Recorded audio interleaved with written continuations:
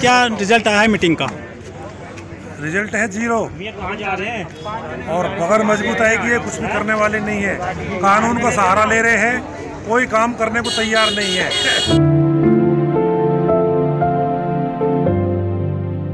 अब इतने ये कोरोना चल रहा है का उसका सहारा लेके कोरोना को आगे कर रखा है और अपना काम कर रहे हैं। मैं ऐसा काम छोड़ दो और किसानों को परेशान मत करो।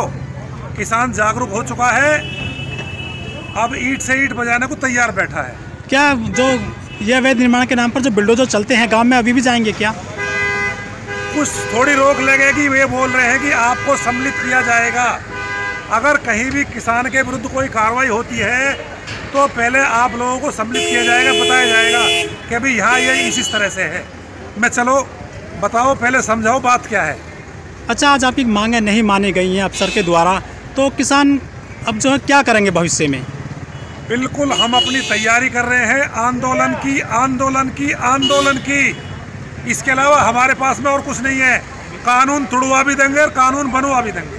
कोई डेट फिक्स की है अभी तक आपने आंदो- आंदोलन की? अभी कोई डेट फिक्स नहीं की है। अगले पंद्रह दिन बाद फिर बैठेंगे और उसके बाद में चर्चा करेंगे इस पर समस्या गंभीर है और ये बोला है रोने से क्या लाभ और क्या हानि किसी अन्यायी को? रो रो कर तो खुश करना है इस जालिम नौकरशाही को। वीर बनो, बलवान बनो और बनो साहसी और उत्साही। कायर और कमजोरों के लिए दुनिया नहीं बनाई। कायर और कमज़ोर सदा दुनिया में दुख पाते देखे। लुटते देखे, पिटते देखे, बिना खता जेल जाते देखे। और कोई कोई तो काले पानी और कोई कोई फांसी खाते देखे। प्रबल की सब जगह, मजबूताई की सब जगह, नहीं निर्बल की कहीं सुनाई और कायर और कमजोरों के लिए दुनिया नहीं। और एक बात और, सच्चाई है, अगर काम नहीं हुआ है, असफलता केवल यही सिद्ध करती है कि सफलता का प्रयास पूरे मन से नहीं हुआ। आपसे भयभीत तो ये हैं। दो दो तीन तीन घंटे जहाँ पंद्रह मिनट मैंने, पंद्रह मिनट में तोते उड़ते देखे और अधिकारी जाते देखे और लोग बैठे देखे, परंतु आपकी ताकत इनको मजबूर तो करती है। परंतु काम अभी मनसा करने की नहीं है। वही कानून, कायदे इस पे ये कानून आड़े आ रहा है, उसमें वो कानून आड़े आ रहा है। कैसे छोड़ दे जी? कैसे जी वो? मैं एक बात तो बताऊँ, तुम विकास कैसे करोगे? सारे गाँवों पर 1932 के बाद में आपने नोएडा नाम दर्ज कर दिया। सारी आबादियों का खेती तो गई गई। आबादियों का भी आपने अधिग्रहण कर लिया, ऑफिसों में बैठे बैठाए इस गलती को मानते हैं? हाँ। तो समाधान।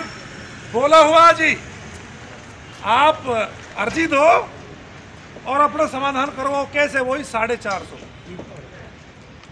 मैं कितने आदमी का समाधान कर दिया? कि जी वो बोल रखा है? कमी लोग आए हैं। मैं मैडम जी, कमी आए हैं और कमी आएँगे ना कराए। हमें पता गाँव कैसे बसे हुए हैं। आए दिन गाँवों में तुम नोटिस छुपा रहे हो। गाँवों के लोगों को भयभीत कर रहे हो। किसान भयभीत है। मैं सही बता रहा हूँ, रो रो खाता मैं। मतलब एक थोड़ा उसमें आ गया था, मेरा एक मतलब वास्तव में छो नहीं था मुझे, एक पीड़ा थी। मैं, आप क्या समझते हैं आप? क्या क्या चाहते हो? अरे, आपके पास कोई विजन है क्या? गाँवों के बच्चे, किसानों के बच्चे कहीं पढ़े लिखे कहीं उद्योग धंधे, कुछ करे, कुछ कर सकते हैं क्या? आप बताओ, आप अपने हिसाब से बताओ, क्या कर सकते हैं? अरे, हमने अपनी सारी ज़मीन ज़्यादा तुम्हें दे दी। अब ये बताओ, हमारे बच्चे क्या करें यहाँ नौकरी हम, नौकरी हमारे बच्चों के यहाँ नहीं है। कोई उद्योग धंधा हमारे बच्चे के यहाँ नहीं है। कोई गाँव में कोई काम करता है तो आप क्या आप क्या बोले क्या बोले? कि बड़ी मॉल नहीं बना सकते। हाँ बहुत बढ़िया, बहुत अच्छी बात है।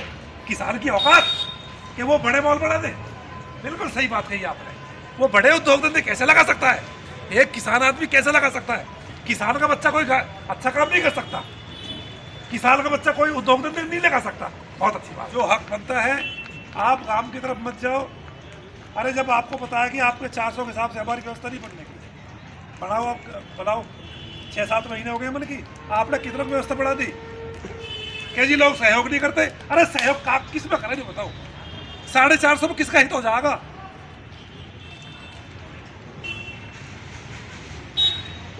क्या जी, आपको तो यही दिखाई पड़ता है कि हम तो कोई काम कर ही नहीं रहे। अरे मैं कब कह रहा हूँ, काम नहीं कर रहे। और हमारी भी तो सम- समस्या जिसके तरह से, आइए बताओ तो कर क्या दिया आपने? आबादी कर दिया? कर रहे हैं जी, तीन मीटिंग हो चुकी है। हमको किसी को बुलाया है? नहीं जी, कोई आबादी कुछ नहीं हुआ है। दस परसेंट?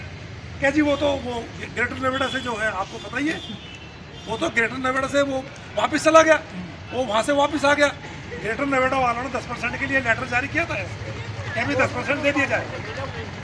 बल्कि हमारा हमने भी हम, हम- हमने भी वो यहाँ आंदोलन करा था और आपने यहाँ पास करा था। आपने क्यों नहीं भेजा? क्या जी उसी वजह से नहीं भेजा। मैं सुनो क्या जी हम हम भी कानून से बंधे मैं तुम बंधे हो कानून से हम नहीं बंधे हुए। हम नेताओं के ऐसे कर देंगे। सरकार पर दबाव डालेंगे हम। हम जनता जब जनता यहाँ भी यहाँ आएगी ना अब अपने आप करेंगे। सब कुछ करेंगे गारंटी से कह रहा हूँ। सब कुछ करेंगे और बोलो आबादी की तरफ़ ये झाँक नहीं सकते। हाँ मैंने पहले कही, कमज़ोरी नहीं। कमज़ोरी नहीं, मैं कह रहा हूँ, तुम मुझे मार देना, जिस दिन मैं गलत काम और और बताओ, पर तुम तो मज़बूत हो जाओ। अरे, तुम तो मज़बूत हो जाओ गाँव के लोग क्यों कौन कौन जो नहीं आ रहे हैं? तुम्हारे नाश के लिए पूरा खाका तैयार हुआ बैठा है, और बोलो। तुम करके दिखा दो कुछ भी। जाओ। अब तुम गाँव में अपना मकान बना लो जाओ। प्रधान जी बढ़ सकता क्या? नहीं बढ़ सकता। तुम कोई गतिविधि चला के दिखा दो तुरंत। अब इनके पास और काम कुछ नहीं है किसान रह गए हैं।